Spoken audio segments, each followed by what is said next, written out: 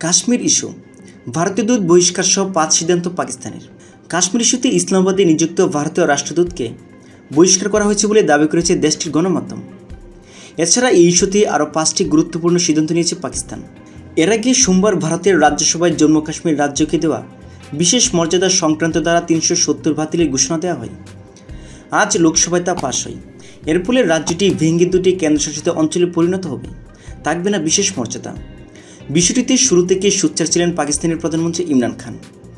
তারই প্রেক্ষাপটে গতকাল পার্লামেন্টে সর্বদলীয় বৈঠক আহ্বান করা হয়। আর আজ জাতীয় নিরাপত্তা কমিটির সঙ্গে বৈঠক করেন পাক প্রধানমন্ত্রী ইমরান খান। ওই বৈঠকে ভারতের ব্যাপারে পাঁচটি সিদ্ধান্ত নেওয়া হয়।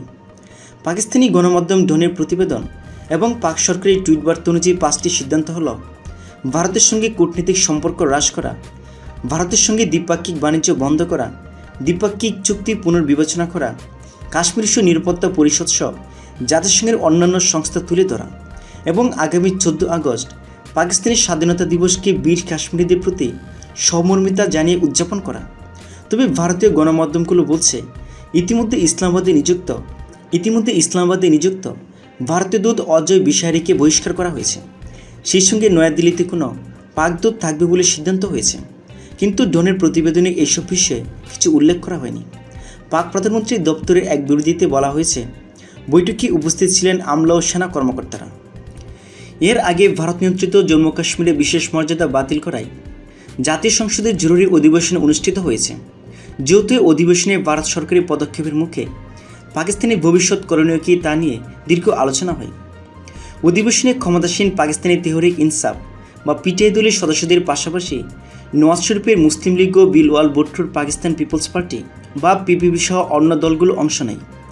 প্রধানমন্ত্রী ইমরান খান অধিবেশনে অংশ নিয়ে বলেন, তার সরকার প্রতিবেশী দেশগুলোর সঙ্গে সম্পর্ক উন্নয়ন ঘটাতে চেয়েছিল এবং এর জন্য ভারতকে শান্তি আলোচনার প্রস্তাব দিয়েছিল।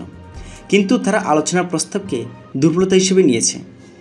ইমরান খান বলেন, তিনি আশঙ্কা করছেন, পুলওয়ামার মতো ঘটনার পুনরাবৃত্তি ঘটবে এবং পাকিস্তানকে দোষারোপ করবে দিল্লি।